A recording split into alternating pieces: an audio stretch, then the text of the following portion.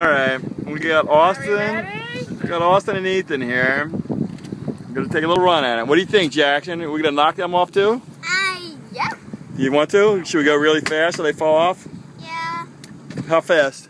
And I'm like, I'm 100 miles per hour. 100 miles an hour? All right. Oh my goodness. Door?